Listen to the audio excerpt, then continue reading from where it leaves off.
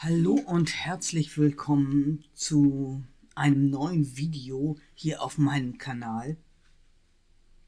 Und zwar geht es heute um den Vollmond im Wassermann am 19. August 2024.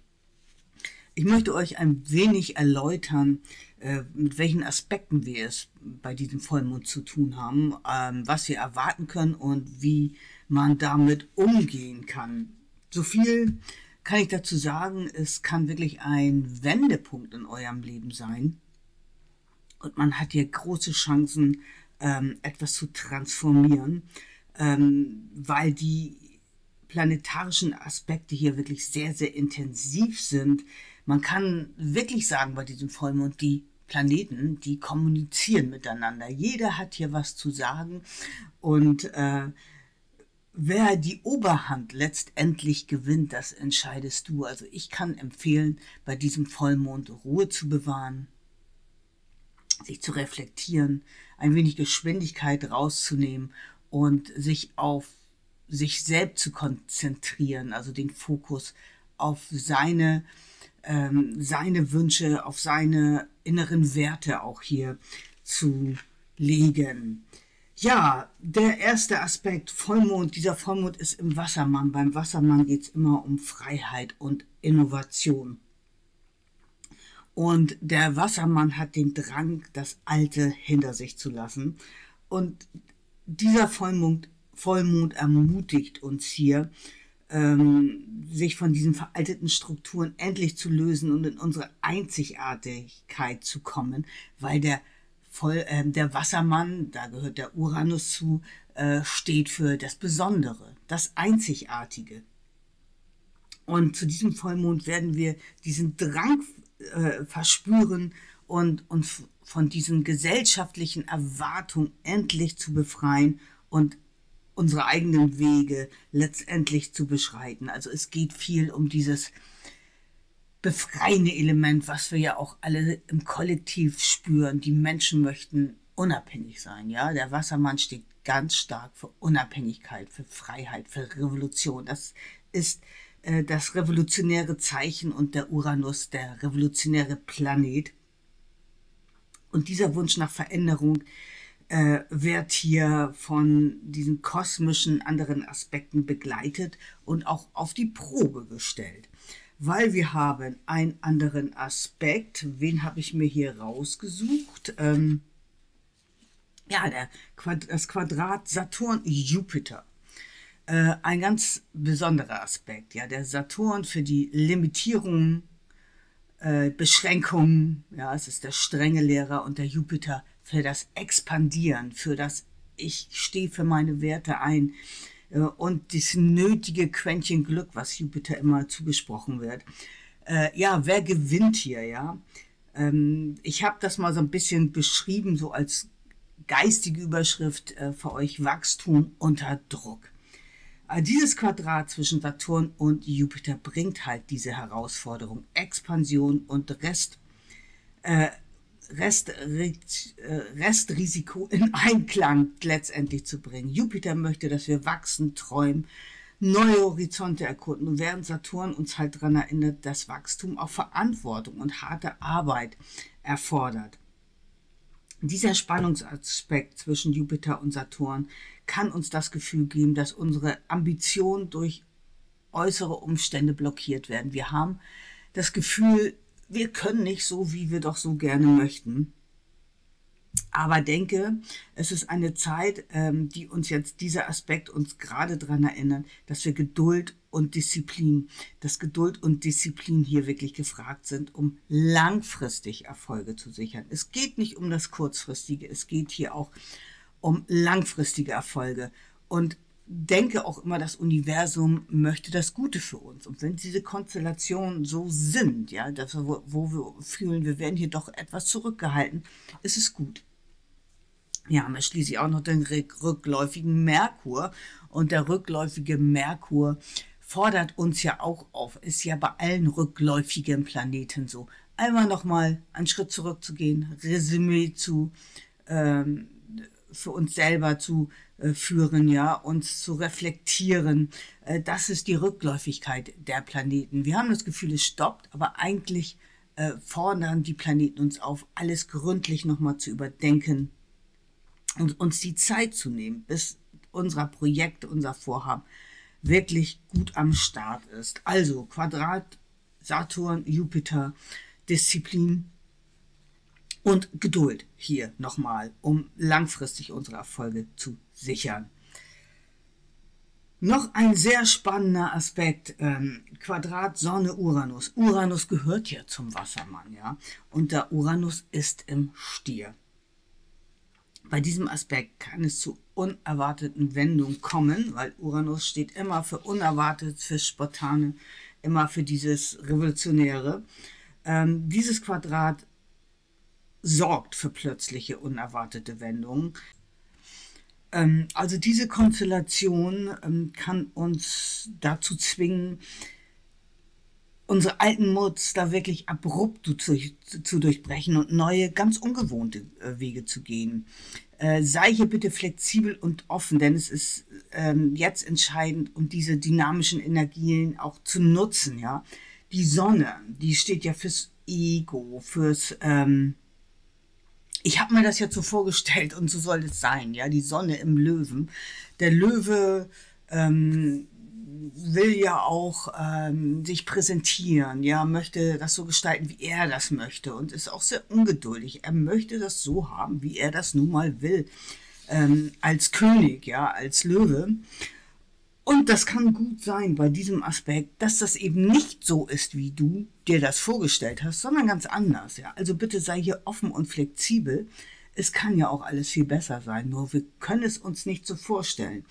Ähm, Uranus möchte hier erneuern, ja, und äh, ich bin wirklich gespannt, wie Uranus hier die alten Muster durchbricht und uns neue Wege auf, zeigt. Und wir wissen noch nicht genau, wo dieser Weg hinführt, weil wir denken, der Merkur ist rückläufig.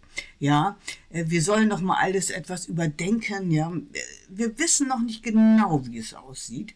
Hm, also bitte offen und flexibel diese Energien annehmen. Und wenn was Spontanes jetzt äh, passiert unter diesem Aspekt, kann es ja auch ein sehr erfreuliches Erlebnis sein, ja. Äh, Uranus ist im Stier. Das kann hier auch um Finanzen gehen, ja.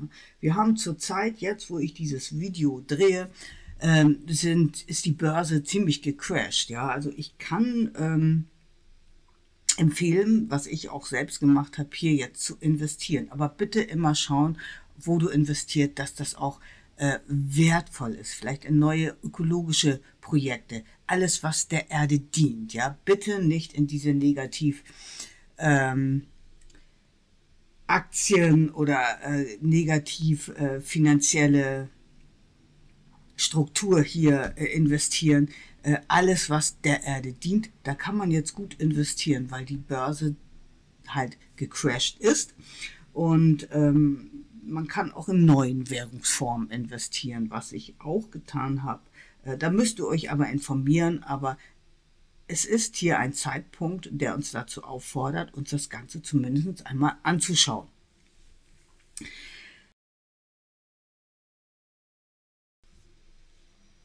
Wir haben hier noch einen spannenden Aspekt, die Mars-Jupiter-Konjunktion im Zwilling. Hatte ich auch schon beim letzten Video etwas drüber gesprochen. Mars-Jupiter, Ungeduld. Der Mars ist der Planet, der sehr ungeduldig ist, unterstreicht nochmal, ich will es jetzt und sofort, ja. In Konjunktion im Zwilling, Tatendrang und Enthusiasmus sind hier angesagt, ja. Äh, diese Konjunktion bringt eine explosive Mischung aus Energie und einem starken Drang nach Aktivität. Im Zeichen des Zwillings verstärkt diese Verbindung unsere Neugier und unseren Wunsch, unser Wissen zu erweitern, neue Ideen zu erkunden. Der Mars treibt uns an, sofort zu handeln während Jupiter uns ermutigt, groß zu denken, unsere Vision zu verfolgen. Ja, das ist alles ein, ein ähm, Aspekt, der uns auch dienlich ist. Denke hier groß. Ja, Mars treibt dich dazu an, doch Vorsicht. Diese Konjunktion kann uns auch dazu verleiten, ungeduldig und impulsiv zu handeln, ohne die Konsequenzen vollständig zu bedenken. Bedenke nochmal mit rückläufiger Merkur. Ähm, aber nutze die Energie, deine Vision groß zu machen. Ja? Die Vision ist ja auch der Wassermann. Ne? Ähm, was alles dient unserer Welt? Was kann ich dazu beitragen? Was erfüllt mich dabei? Denke groß und lass dir Zeit.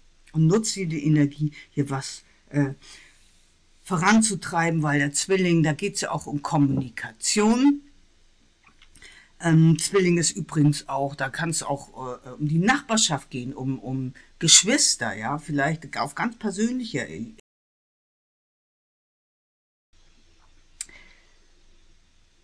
ist bei dir auch der Drang danach, über gewisse Dinge nochmal zu reden in der Familie oder äh, mit deinen Nachbarn über ein Projekt, ja. Also Uranus ist ja auch ganz individuell, ja. Leg dich da nicht fest, ne? Das kann dir spontan hier in den Kopf kommen, dass du mit irgendjemand über irgendwas sprichst, wo du denkst, wow, genau das ist es, ja. Sei da sehr offen und sehr flexibel, ja. Quadrat, Sonne, Uranus, unerwartete Wendung. Denk an diesen Aspekt.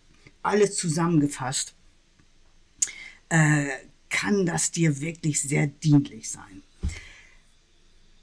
Was bedeutet das für uns alle? Ich habe hier einige Aspekte nur rausgeschrieben. Es sind noch ein paar andere, aber das sind so die Hauptmerkmale, wo ich finde, äh, wo wir mit umgehen müssen und dürfen. Also der Vollmond im Wassermann fordert uns auf, die Balance zwischen Freiheit und Verantwortung, zwischen Innovation und Stabilität zu finden.